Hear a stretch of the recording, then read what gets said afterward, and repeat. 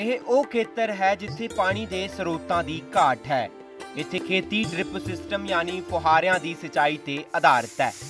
ਇਸ ਖੇਤਰ ਵਿੱਚ ਬਾਜਰੇ ਤੇ ਹੋਰ ਫਸਲਾਂ ਦੀ ਕਾਸ਼ਤ ਨੂੰ ਉਤਸ਼ਾਹਤ ਕੀਤਾ ਜਾ ਰਿਹਾ ਹੈ।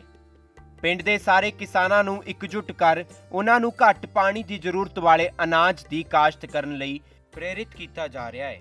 ਐਮਕੇ ਪੁਰਮ ਮਿਲਟ ਬੈਂਕ ਵਜੋਂ ਜਾਣੀ ਜਾਂਦੀ ਕੰਪਨੀ ਕਿਸਾਨਾਂ ਨੂੰ ਤੁਪਕਾ ਪ੍ਰਣਾਲੀ ਨਾਲ ਫਸਲਾਂ ਦੀ ਸਿੰਚਾਈ ਕਰਨ ਲਈ ਪ੍ਰੇਰਿਤ ਕਰ ਰਹੀ ਹੈ। ਚਿੱਤੂਰ ਜ਼ਿਲ੍ਹੇ ਦੇ ਕੂਪਮ ਨੇੜੇ ਬਾਜਰਾ ਬੈਂਕ ਐਮਕੇ ਪੁਰਮ ਵਿੱਚ ਸਥਿਤ ਹੈ। ਉਸੇ ਪਿੰਡ ਦੀ ਰਹਿਣ ਵਾਲੀ ਵਿਸ਼ਾਲਾ ਰੈਡੀ ਨੇ ਇਸ ਬੈਂਕ ਦੀ ਸਥਾਪਨਾ ਕੀਤੀ।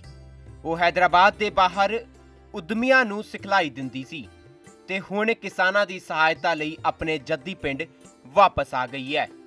ਵਿਸ਼ਾਲਾ ਨੇ ਮਹਿਸੂਸ ਕੀਤਾ ਕਿ ਜੋ ਕਿਸਾਨ ਪਹਿਲਾਂ ਜੌ, ਬਾਜਰਾ, ਛੋਟੇ ਕੋਦੋ ਤੇ ਬਰਨਯਾਰਡ ਦੀਆਂ ਚੌਲਾਂ ਦੀਆਂ ਕਿਸਮਾਂ ਦੇ ਮੋٹے ਦਾਣਿਆਂ ਦੀ ਕਾਸ਼ਤ ਕਰਦੇ ਸਨ।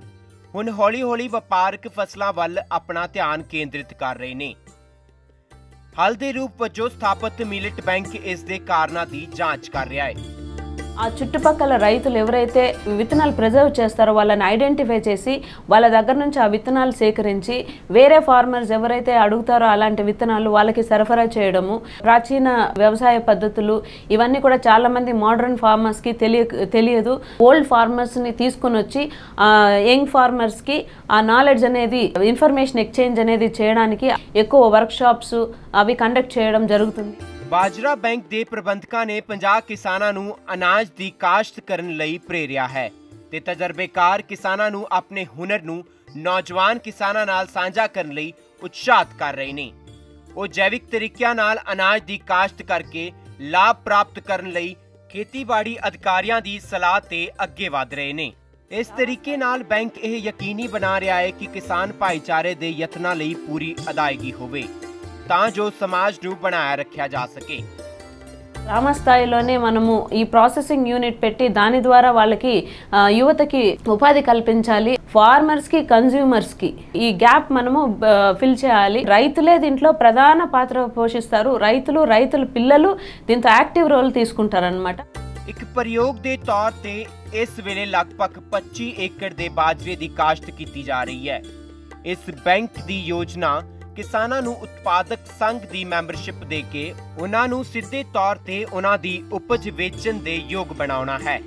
ਖੇਤੀ ਦੇ ਵੱਖ-ਵੱਖ ਕਿਸਮਾਂ ਦੇ ਸੰਦ ਅਤੇ ਬੀਜ ਪ੍ਰਦਰਸ਼ਿਤ ਕੀਤੇ ਗਏ ਹਨ ਤੇ ਜਾਗਰੂਕਤਾ ਪੈਦਾ ਕਰਨ ਲਈ ਕਦਮ ਵੀ ਚੁੱਕੇ ਜਾ ਰਹੇ ਨੇ। రైతుల చేత కూడా మేము ఈ కూరలు సాములు ఆరుకులు ఊదుర్లు అండుకూరలు కొర్రలు రాగులు ఇలాంటివి సాగు చేసి సాగు చేపించామన్నమాట. లేదు అనే మాట లేకుండా కాన్సెప్ట్తో ఈ మిలెట్ బ్యాంక్ అనేది స్థాపించడం జరిగింది. ఫార్మర్స్కి అయితే చాలా మందికి వాళ్ళకి పండించడం తెలుసు. కానీ ఎక్కడ సెల్ చేయాలి? ఏం చేయాలి? అనేసి వాళ్ళకి తెలియదు అనమాట సో మిల్లెట్ బ్యాంక్ ఏం చేస్తుందంటే వాళ్ళకి ఒక సొల్యూషన్ ఇస్తుంది. ఎలా చేయాలి? ఏం చేయాలని చెప్తుందన్నమాట. ఆమె తరపున రైతులంతా కూడా బాగా ప్రోత్సాహమయ్యి ఇప్పుడంతా సాములు చల్లుతూ ఉన్నారు కొర్రలు చల్లుతూ ఉన్నారు ਵਿਸ਼ਾਲਾ ਨੇ ਬਾਜਰਾ ਬੈਂਕ ਸਥਾਪਿਤ ਕਰਕੇ ਕਿਸਾਨਾਂ ਦੀ ਸਹਾਇਤਾ ਕਰਨ ਦੇ ਆਪਣੇ ਸੁਪਨੇ ਨੂੰ ਪੂਰਾ ਕੀਤਾ ਹੈ ਰਵਾਇਤੀ ਢੰਗ ਨਾਲ ਬਾਜਰੇ ਦੀ ਕਾਸ਼ਤ ਕਰਨ ਲਈ ਇੱਕ ਦੂਜੇ ਤੋਂ ਦੂਰ ਹੋ ਚੁੱਕੇ ਕਿਸਾਨਾਂ ਨੂੰ ਇਕੱਠਾ ਕਰਕੇ ਵਿਸ਼ਾਲਾ ਮਹਿਸੂਸ ਕਰਦੀ ਹੈ ਕਿ ਉਸ ਨੇ ਆਪਣੇ ਜੱਦੀ ਪਿੰਡ ਤੋਂ ਜੋ ਕੁਝ ਵੀ ਪ੍ਰਾਪਤ ਕੀਤਾ ਹੈ ਉਹ ਉਸ ਨੂੰ ਅਦਾ ਕਰ ਰਹੀ ਹੈ ਮਿਲਟ ਬੈਂਕ ਹੌਲੀ-ਹੌਲੀ ਆਪਣੀਆਂ ਸੇਵਾਵਾਂ ਦਾ ਵਿਸਤਾਰ ਕਰ ਰਿਹਾ ਹੈ, ਤਾਂ ਜੋ ਸਾਰੇ ਕਿਸਾਨ ਸਵੈ ਨਿਰਭਰ ਹੋ ਸਕਣ ਤੇ ਆਪ ਪ੍ਰਗਤੀਸ਼ੀਲ ਬਣ ਸਕਣ। Bureau report ETV Bharat.